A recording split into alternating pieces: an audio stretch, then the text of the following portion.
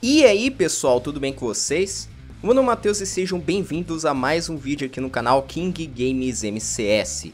E hoje temos mais uma novidade do jogo Crash Bandicoot On The Run e eu resolvi trazer essa notícia para vocês. É uma notícia rápida, não é tão grande assim, mas eu resolvi fazer esse vídeo para falar sobre isso, que é do novo modo de jogo, que seria o Time Trial.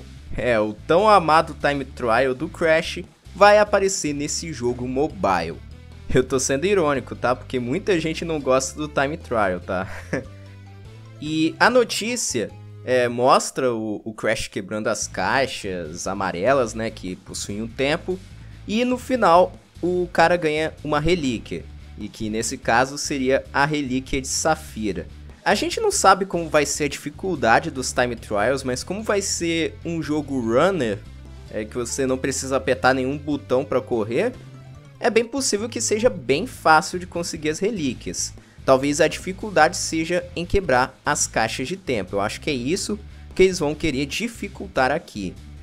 E também foi dito que teremos um modo multiplayer online chamado Team Runs, que na GameSpot diz o seguinte: depois de garantir 5 gemas, é, gemas do poder, que são recompensadas após derrotar os chefes, os jogadores podem ficar online com a equipe de até 30 membros para desafiar outras equipes globais. Assim que uma corrida de equipe for selecionada, três membros de três equipes diferentes correrão juntos para ver quem chega mais longe.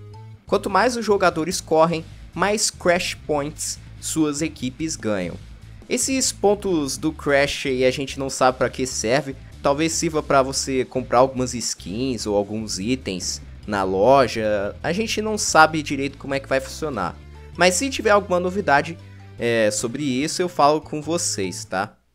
E basicamente é isso, pessoal. Não tem muita coisa o que falar, foi um vídeo bem rápido mesmo, e esse foi o objetivo. Semana que vem eu vou fazer um vídeo falando de outras novidades que saíram antes dessa daqui.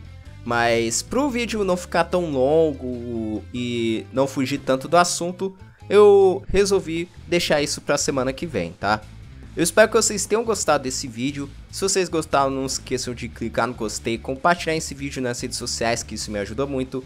Se inscrever no meu canal para vocês fazerem parte daqui e ative o sininho para receber todas as notificações. E siga as minhas redes sociais e também os meus parceiros, beleza? Então é isso, até mais, tchau e comenta. Fui!